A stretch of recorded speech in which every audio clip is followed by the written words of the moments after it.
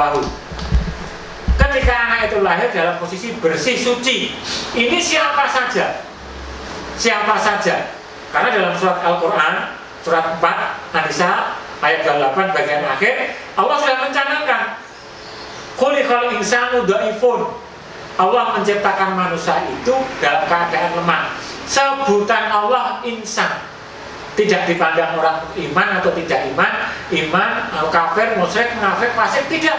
Allah menyebutnya insan. Seluruh manusia itu lemah. Maka Nabi mengatakan Fa'abawahu Tergantung orang tuanya. Maka orang tua itu menjadi pioner pertama kali ketika mendidik anak.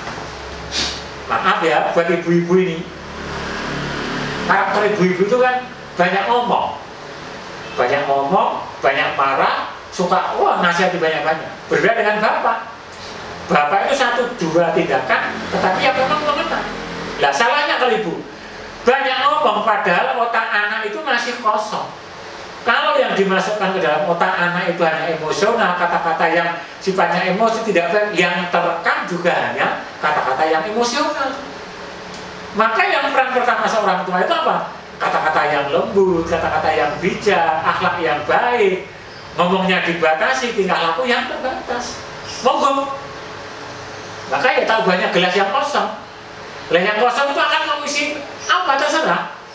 Nah, satu contoh namanya ya? Bekas botol aqua ini mamanya. Botol aqua ini. Saya buang airnya. Des. Tinggal orang tuanya. Mau diisi comberan air di got ya jadi. Yang terjadi ya air got. Tetapi aqua ini diisi dengan air yang bersih putih seperti ini menjadi minuman ini harganya hanya 2500 sih. 500 500 rupiah ya. tetapi kalau plastik seringan ini kok diisi dengan madu nilainya tinggi. Tinggal orang tua bagaimana memasukkan ke sini? Hebat lagi ini diisi dengan emas atau berlian walaupun tempatnya hanya sebuah plastik tapi isinya itu hal yang mahal ya mahal. Termasuk anak anak itu oleh Allah jadikan amanah maka isilah hal-hal yang bermanfaat ini peran orang tua yang pertama kali peran penting nah, manggo Silakan dicamkan ini baik-baik. Nomor dua, dalam kemampuan membaca, menulis, berhitung sebagai sekolah dasar orang tua punya tanggung jawab besar untuk memperhatikan anak dalam belajar. Benar.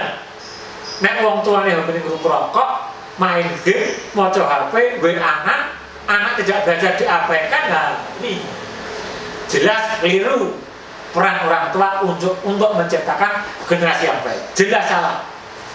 Umpamanya ada panggilan sholat untuk yang Islam. Ajak segera sholat. Habis maghrib dibiasakan baca Al-Quran. Ajak anaknya baca Al-Quran. Ini peran orang tua. Jangan sampai malah terhindar. Saatnya sholat ditunda. Saatnya baca Al-Quran diabaikan. Ada pengajian tidak datang. Ini salah dalam hal pendidikan nomor tiga anak yang didampingi orang tua dalam belajar cenderung lebih baik dalam proses pembelajaran. Dalam penelitian yang diadakan di sebuah sekolah swasta ini ternyata anak yang ditunggui orang tua itu punya mental terdidik tersendiri. Akan mudah diatur akan mudah diberi masukan sehingga mentalnya kuat. Ketika menerima pelajaran dia merasa nyaman akibatnya bisa menerima apa pelajaran yang disampaikan oleh gurunya. Maka orang tua sangat kompeten sekali dalam pendidikan dasar terutama di usia balita. Ini sangat penting. Nomor empat, ketika masih sekolah dasar, ada perbedaan yang signifikan antara anak yang belajar di dalam orang tua dengan yang tidak. Ini di atas asal Yang kelima, perasaan nyaman dan diperhatikan itu akan menjadi awal belajar yang baik dan menumbuhkan motivasi belajar anak. Maka kalau TK itu yang ada hanya permainan, gambar-gambar binatang, cara bermain sama teman, itu memang dibuat nyaman ketika mentalnya siap, badannya sehat, seorang guru memasukkan muda.